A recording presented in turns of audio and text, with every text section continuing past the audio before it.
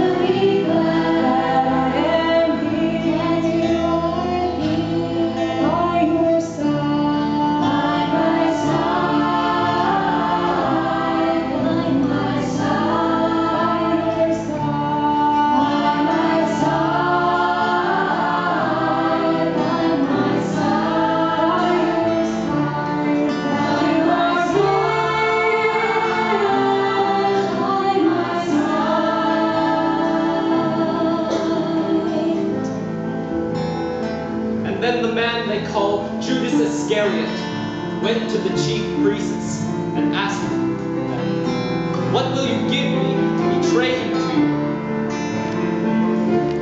They gave him 30 pieces of silver.